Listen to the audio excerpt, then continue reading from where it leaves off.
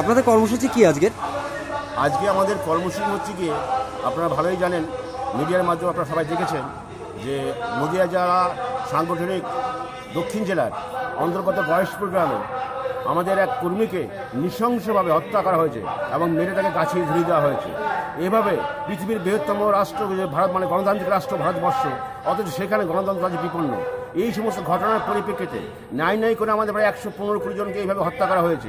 তারই প্রতিবাদে এই যে গণতন্ত্র বিপন্ন এবং মানুষের জীবন বিপন্ন এই ঘটনার পরিপ্রেক্ষিতে আমরা নদিয়া জেলার প্রতিটি থানায় এই ঘটনার প্রতিবাদে আমরা বিক্ষোভ সমাবেশ এবং যে ডেপুটেশন জমা দিলাম কিন্তু আগামী দিনে এই সমস্ত ঘটনা না ঘটে বা এর একটা বিধ ব্যবস্থা করার জন্য আজকে আমরা এখানে থানায় ডেপুটেশন দিতে আপনার নাম? আমার নাম তপন রায়। আপনি? নাগাসাপাড়া বিজেপির কনভেনার। নিরীহ নিরপরাধ মানুষের এই পদহীনের মিলনের কাজ আপনারা করবেন না। সমাজের মধ্যে পরিবর্তন হবে।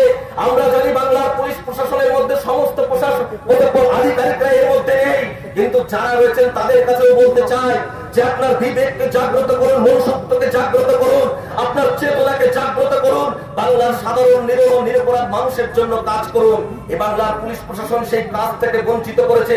আজকে আপনারা, আমরা আমাদের নাকাশিপাড়া থানায় দাঁড়িয়ে কথা বলছি। আমাদের পাশের থানা কালীগঞ্জ, সেখানে পলাশি পলাশি বাজারে আলোকি রয়েছে। যেখানে বড় চাঁদ ঘরে গত আমার এক সেদিনকে করা হলো, তাকে ধর্ষণ করা হলো। ধর্ষণ করলেন কে?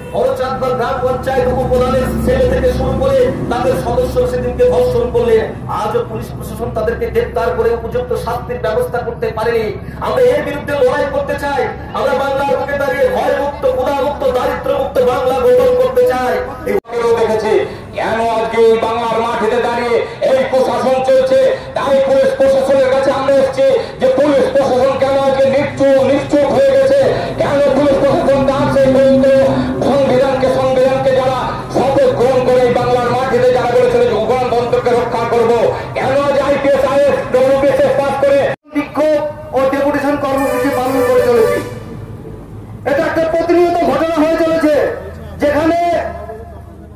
প্রতিদিন সকালবেলা উঠেই আপনারা যা শুনতে পাবেন বা সংবাদপত্রে দেখতে পাবেন, যে কোনো মা বোন হয়তো ধর্ষিত হলো বা কোনো মায়ের কোল খালি হয়ে গেল।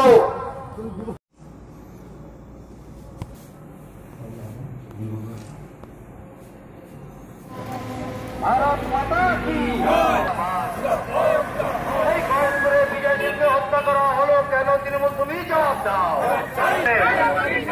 এই জবাব তোমায় দিতে হবে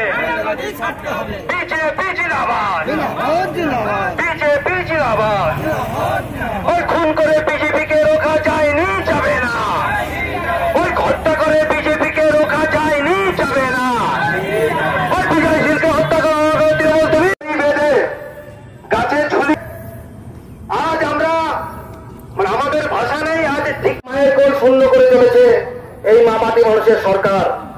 বন্ধুগণ স্থান।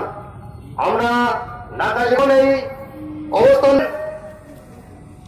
নদিয়া জেলা অবস্থান নাকাশিপাড়ার কনভেনর মাননীয় নাকাশিপাড়া জেপি দেবস্থিত আছেন নাকাশিপাড়া তেরোরের মানুষ আজ অবগত হয়েছে তাই পুলিশ প্রশাসন যে পুলিশ প্রশাসনকে গণতন্ত্রের